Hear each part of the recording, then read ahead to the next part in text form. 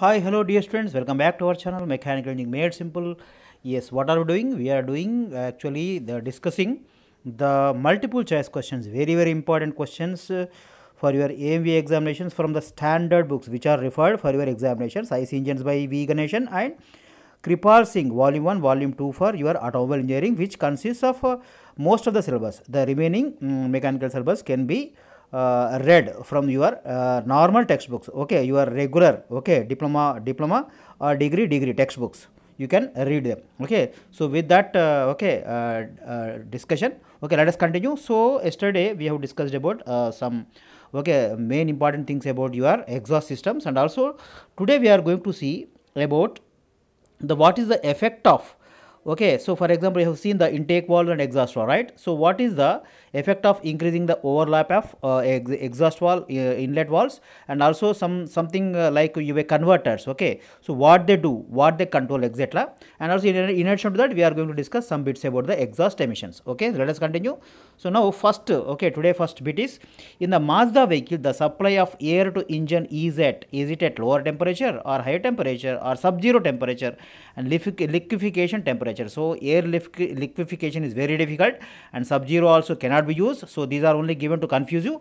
So the answer is between either low or higher temperatures so your answer is for in the Mazda vehicles the supply of air to engine is at higher temperatures. Your answer is B. next question.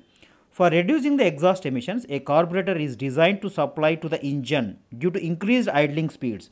So in uh, because of the uh, increased idling speeds he is asking okay so to reduce the exhaust emissions so how a carburetor is designed? That means to supply. Okay so whether it is to supply leaner mixture or richer mixture or chemically correct mixture and is it too rich mixtures? Like once again i told you so some similar uh, difficult words or different words familiar unfamiliar words new words too rich mixtures. Okay so, so you suspect these answers. No they are not the answers. So the answer is either between leaner or uh, richer mixture so here here is the your answer is the leaner mixture.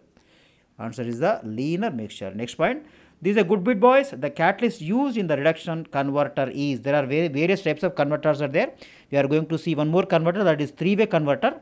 Okay so in this the catalyst used in the reduction converter is the radium. Some elements are used like plutonium radium etc are used. Okay so rhodium rhodium is the answer. So rhodium is the uh, catalyst used in the reduction converter. So these are you know uh, nuclear uh, elements. So radium uh, rhodium plat platinum etc so these are used for the these are used as catalyst in the converters. Okay so here the answer is the catalyst used in reduction converter is the rhodium. Your answer is rhodium. Once again let us mark it. Rhodium. Next question increasing the overlap of intake and exhaust valves is a method of so what is this method? So by doing by increasing the overlap of intake and exhaust valve this is called valve timing diagram. So you can this is drawn for the uh, crank uh, rotation. Okay for 360 degrees it is uh, um, it is drawn. This is valve timing diagram. So here you can see the valve overlapping uh, for some crank angle. So by doing by increasing this overlap of increase uh, overlap of intake and exhaust valves what is this method is it for uh, redesigning the combustion chamber? Is it for changing the cooling system? Is it uh, the method of modification of ignition system or is it the change in the fuel supply system? This is basically by doing so you can uh, supply the uh, timing of supply of fuel to the engine. So change in the fuel supply, supply system is the answer for this. Next question. An electric assisted choke opening and closing more quickly ensures dash mixture supply and dash exhaust emissions. So whether is it higher higher or richer lower or leaner lower or richer higher. This combination see this unless you are not thorough with the subject you cannot answer such type of question. So please read the subject thoroughly. So here the an electric assisted choke opening and closing more quickly ensures it is going to ensure a leaner mixture supply and uh, it is going to ensure lower exhaust emissions. C. C is the answer lower, leaner and lower. This is the answer for this. Okay, next question. The catalyst used in uh, the converter for oxidizing HC and CO. HC means hydrocarbons and CO means carbon monoxide. So, what is the catalyst for this type of converters which are meant for oxidizing hydrocarbons and CO that is carbon monoxide. What is this uh, uh, what is the catalyst uh, catalyst used for this okay this is the platinum so platinum is the this is a nuclear element. You know that. Okay radiothermic element. You know that.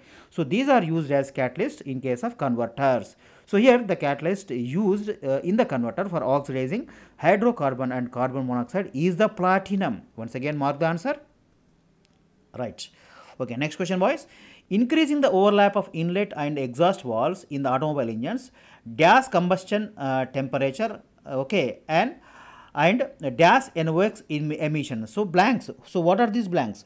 Okay, here by increasing the overlap of intake and exhaust valves in the automobiles, what does it do?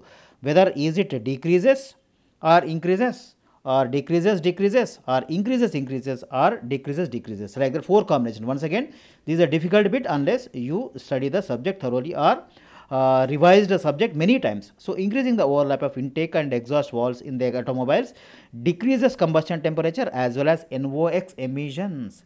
This is a useful thing, yes or no? So, what we want? We want to decrease the combustion temperature which is going to be uh, impacting uh, the environment and also we want to reduce the emission also NOx. So, it is useful in, in that case, okay.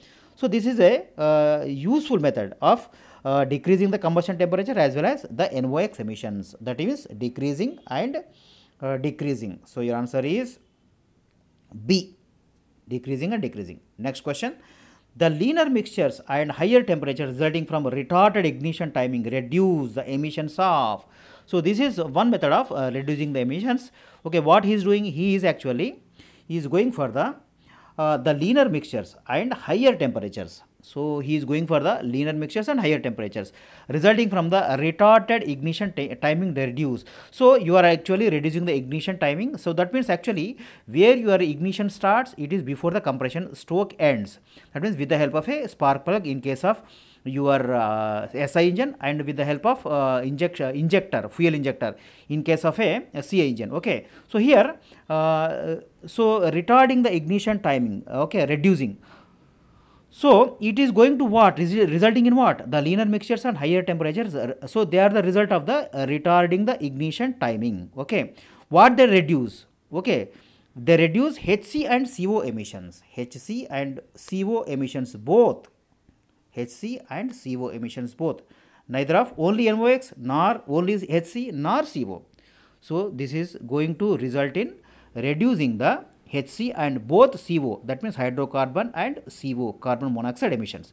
Next question boys, the exhaust emissions at idling, the exhaust emissions at idling dash with dash of ignition advance that means whether the, they increase or increase again once again increase increase not affected increase increase increase and none.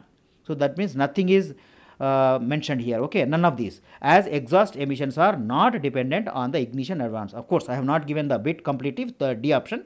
But here the D option is so definitely it is a function of the exhaust. Uh, so they are dependent on the uh, idling or cruising or your acceleration. That is the operation of the engines. Okay depending upon the load. Right. So here the exhaust emissions at idle they increase with the increase of ignition advance increase with the increase of the advance. Okay ignition advance. Your answer is c. Next question boys. 541 this is the last bit for today. In a three way converter the first converter controls. So uh, there are three con, con uh, the, the, the, there are three converters. Okay three way converters. One two three. So first converter which element it is going to control of the emissions we have seen various emissions CO, HC, uh, then CO to NOx depending upon X value NO2 or NO that is nitrous oxide, nitric oxide.